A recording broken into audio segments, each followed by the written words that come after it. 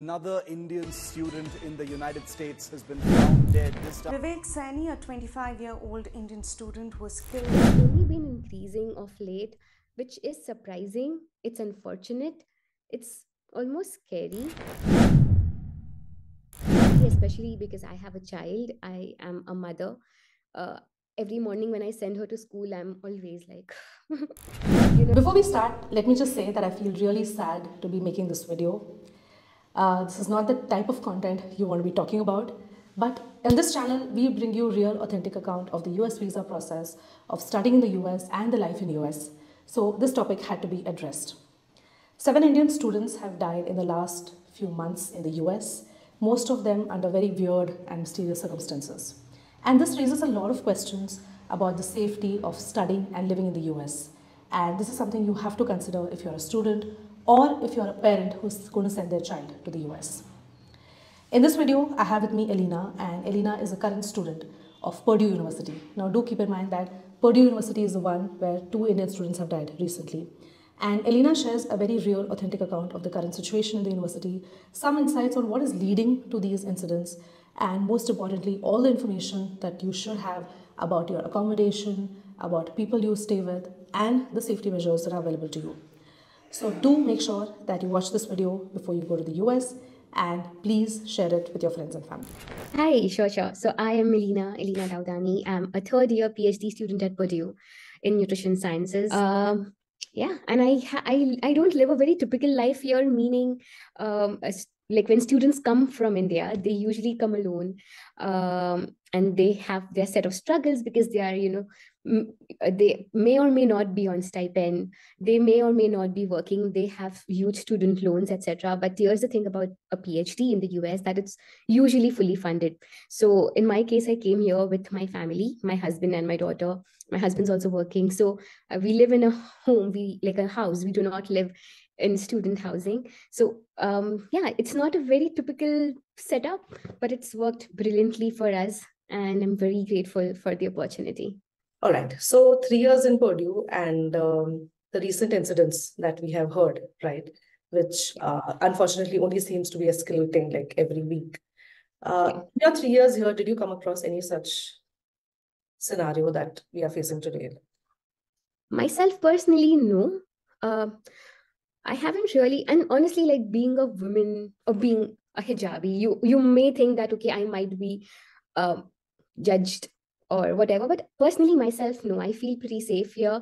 Uh, I don't even know of anyone uh, closely who has gone through something like this. But like you rightly mentioned, it's only been increasing of late, which is surprising. It's unfortunate. It's almost scary. Uh, so gun violence in the US, we all know you cannot really just uh, yeah. under the man and say no, it doesn't exist. We know it's there and it's a reality especially because i have a child i am a mother uh, every morning when i send her to school i'm always like you know it's always difficult i don't think yeah. i'll ever come to peace with the fact that okay yeah, hell it's a reality that i have to live with but that being said i personally haven't uh, myself encountered anything of that sort touch wood um, and i think that also has to do with the fact uh, you know that the people that you surround yourself with are important. How safe you keep yourself is also important. I believe this is this is for any place anywhere you live. If you uh, choose to travel in dark alleys you are putting yourself at risk. So i think making sure that as a person you take care of yourself is important. But yeah of late this has been um, much more prevalent than before uh, especially in the last one month we've seen two cases of indian boys unfortunately being I don't know, targeted or what, because we don't really know the the actual story yet. But both of them recently passed away, which is very unfortunate, very scary. Um, and I received so many messages from a lot of my friends, from uh, my family. They all were worried because it was all over the news. So yeah, it's it's scary, and it's happening a lot more than before, which is why, as students, especially international students, we have to be very, very careful. We have to know uh, what the protocols are. We have to know what uh, what services, for instance, we have, and you know, basic safety um, measures that we need to take for ourselves, so that we keep ourselves safe here. So I want to ask you one thing. In the last one year, we have seen a lot of changes in the economy, right? Mm-hmm. Everywhere, and I think a little bit more drastically in the US. True. So do you think somewhere these changes in the income structure, economy, opportunities, all of these has some trickle down effect or any other change? Because you've lived there for three years now, right? So in mm-hmm. that period, have you noticed any change in the environment as such, which you feel could be like possible triggers? yeah, I can actually tell you that for instance, when we used to go for grocery shopping when we moved here in 2021 versus when we go now, things are very different in terms of how much we pay for the same stuff we did earlier. Right. So yes, inflation uh, has been an issue, and you know, uh, generally, I don't know how many how many people know about this, but then when we look at more developed countries, we think, "Hi, यहाँ पर सब hunky dory होगा." everyone must be like you know well off and all which is not the case. When you actually come here and you go in these you know downtrodden areas you actually see a lot of people who are homeless. Um it's it's sad. It's but i think that's a reality everywhere. Just that yahan par wo thoda sa camouflaged hota hai for some reason and we are not aware. And also because studies are expensive in the us a lot of people are un- uneducated meaning they have never been to school uh, they are they live in their cars and when those things happen, you obviously see uh, an increase in crime rate. So yes, that possibly has to do with the fact that inflation is on a rise. Uh, what do you want to tell the parents first? That mm-hmm. hey, if you are thinking of sending your child to the US, you know, yeah. uh, please know this, and then we'll mm-hmm. come to the students who have already decided to come. Yeah. I believe, you know, the first and the most important thing I'd like to say is maintaining a good relationship with your child so that he or she feels comfortable to share everything with you. Oftentimes, when children are here, uh, they are uh, by themselves. And sometimes a lot of children who move to the US, this is their first experience of living alone, doing things by themselves. Uh, a lot of times, you know, they they might feel vulnerable, they might feel alone, they might feel uh, that they do not have support here or lonely or whatever. But then they're always so concerned about their parents that they don't share those feelings. And when they don't share those feelings, there is this disconnect between the parent and the child. So I think it's very, very important that you let your children know that one, um, even if they are far away, they are close to you, etc., and they can share everything uh, possible with them. And two, that don't show a lot of your emotional side to them because that could prevent them from sharing if for instance if they have a bad roommate they won't feel comfortable sharing that with you because they know that you'd get more worried for Mom's them. gonna freak out if I tell her. exactly. Like, you know, okay, if I share with my mom, she won't be able to come here and protect me or take care of me. I'll only end up, you know, getting her more worried. But then for you, it's important to know who the roommate is. So having that open connection with them, communication with them is, I think, very, very important. So when these incidents happened, uh, what was the reaction in the university? Like, did you see any specific reaction coming from uh, the university or from the people around you? Like, uh... mm, that's an interesting question. So university, uh, usually, when something major happens, we receive an email where the university acknowledges that this has occurred. And for instance, where uh, a year ago, an Indian boy who was a, a US uh, raised Indian boy, uh, he was stabbed by his Korean roommate. And that was a huge thing because they were living on campus. So this happened, I believe, late at night. Uh, at 2 a.m. or so. I don't remember exactly. And in the morning at 8 exactly, when we start receiving emails from the university, the first email we received was regarding this, that this happened and we are aware and we're taking proper care to address this issue, etc. So uh, when something major happens, we do receive emails from the university. Besides that, uh, we have a lot of small groups uh, in the university. Uh, these groups essentially like you know we have for example an indian asian community we have the student uh, uh, government here which caters to all people like all graduate students for instance not just asian or indian or whatever. So whenever something of this sort happens we usually hold vigils um, and yeah we receive emails talking about those things. But then that's the only reaction i've seen. I have not seen students protest or anything of that sort.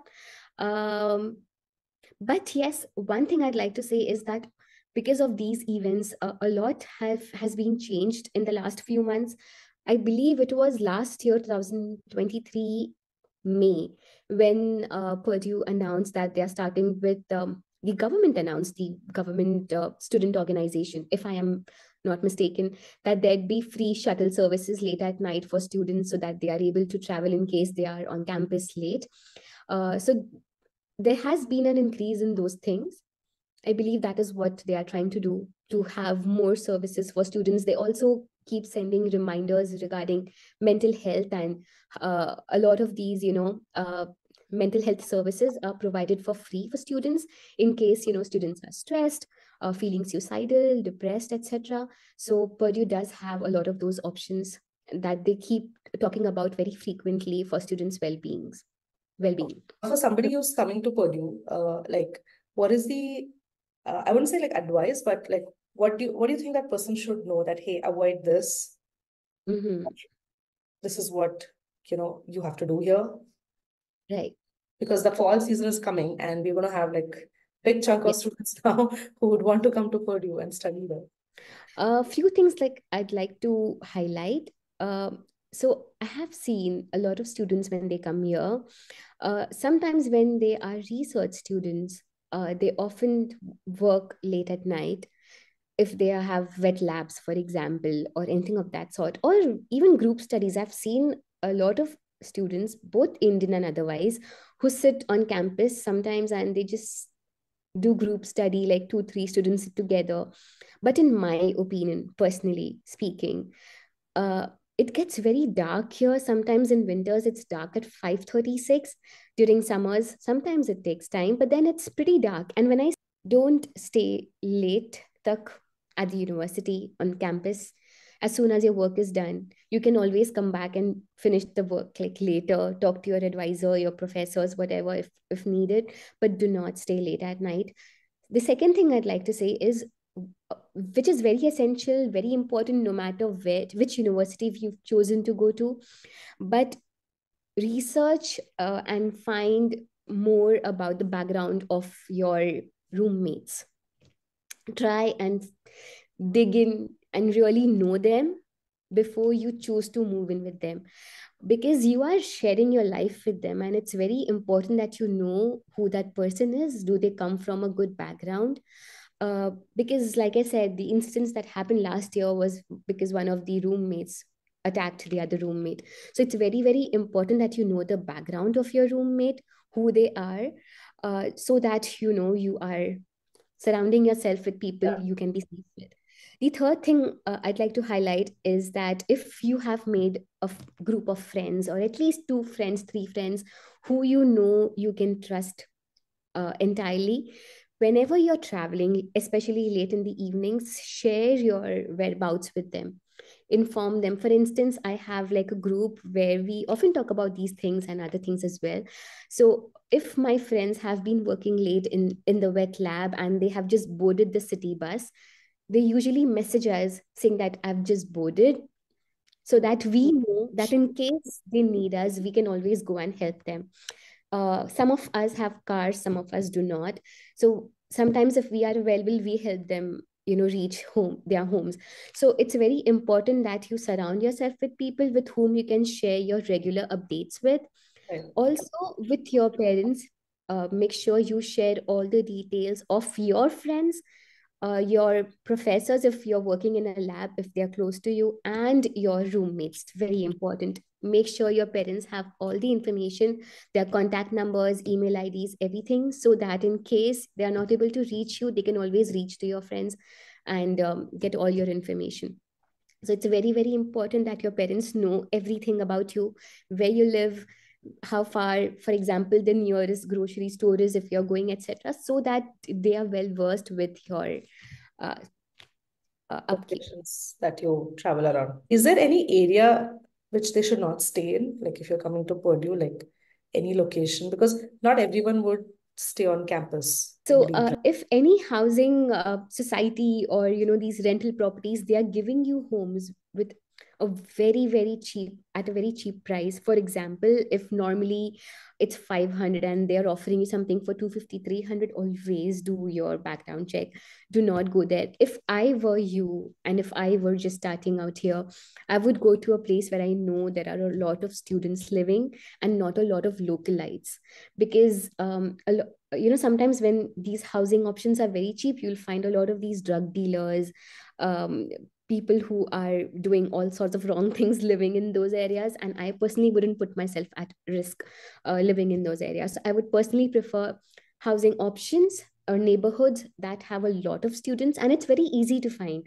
Uh, if you just go uh, if for example you got an offer from purdue for instance and you know you're you're going to select purdue they all have most universities including purdue have resources online where they have shared a list of apartments uh, where their students go both on campus and off campus to Okay. start out even though it might be a little more expensive than what you may found, find online but always go for those listed uh, apartments or housing options first so that you are at the right place to begin with and then once you come here you can do a little more research and move to a different place later it's always better to when you're starting out always select something that's safe something that you know is authorized and approved by the university meaning it has some um, you know there is some sense of safety Correct. comparison which is better than there's some other background check done, right? You know that there is yeah if the university is uh, approving it and it's listed on their website meaning it's much safer than a lot of options out there I want to ask you is what exact resources are available? Like one thing, like like what you just mentioned, that the university will give you a list of housing. So, uh, adding on to this list, what are the safety options uh, available to you that again you should be aware that okay, I I have access to this from the university. Right. So there's something that I really liked, I've never used, uh, which is called Purdue Student Security Patrol. So there are these bunch of people who are authorized by Purdue who you can reach out to anytime, especially after the dark. If you want to just simply walk on the road, if you're just walking on the campus or doing anything or anywhere in the entire city, you can just call them and say that, listen, I am here and I think I'm not safe, or I need help, or I don't know this place. So can someone come here and help me? And they reach, Anytime? Is it like okay? especially after dark. So they provide with the service. You can just Google and search for Security Patrol Purdue, and you will find their contact number, email ID, etc. You can just reach out to them. My friend, uh, when she moved here, she had her flight. I think it landed at 3 a.m. and she came here she was waiting for a cab and she was all by herself. And she reached out to them and they came and helped her instantly. So they are very efficient i've heard. I have i have no personal experience but i think um, from what i've heard they're really good and they're all around on the campus so they can always help you. So whenever even when during the daytime you feel that someone is walking behind you you just notice that some behavior that you observed is not safe for you or you for instance observe someone uh, who has like a gun or something and you're scared or you notice something that's very unusual you can always call them and they can come and help you. So they are always there. Uh, it's called again security patrol. You can just google and you'll find the contact details. So that is one resource that i think i really like. And the other one which i think started recently i believe it's been three four months if i'm not wrong. It's called rights to you. Uh, this is only for grad students meaning the ones who are doing masters and postdocs and uh, phd and postdoc but i believe it's also for undergrads uh, उनके government में भी ये होगा ये हमारी government का this is for grade students only eight Purdue and what they do is uh, that if for example you want to travel anywhere especially after dark you can book cabs via them you just have to make sure that you book uh, a day in advance so for example if you know that tomorrow you're going to be on campus until 6 a, uh, p.m in the evening or 7 p.m. You have some work or you have a meeting and you don't feel safe using the city bus. You can fill their form and they provide with free cabs for you. So you can travel anywhere in the city using the cab services. You don't have to pay anything, it's funded by them. and you can travel safely. And So you have think- a shuttle service as well, in addition to this, is it? Sorry? And there's a shuttle, like what you were mentioning Yes. earlier. There is a shuttle service which, uh, yeah, which is across the city Yeah. as well. Oh, that's across the city. Okay. So if you want to use the shuttle, that's also free. Uh, these cabs are also free. So I believe these are good resources that students could use, especially if you're working late at night or if you have, I don't know, you have to attend a meeting uh, or something that you know is going to be uh, on until late. You can always use these services. Okay. And is there any WhatsApp group uh, that oh, the university provides? University doesn't provide with WhatsApp groups, but there are a lot of Facebook groups. Um, and wo Facebook groups say then there are WhatsApp groups ban jate hai. Right. But there are a bunch of Facebook groups. Uh, there are groups of um, like specific regions as well. So uh, there are like proper Indian Facebook groups and Chinese Facebook groups and Filipino Facebook groups. Oh. And uh, governments and organizations. Community. Correct.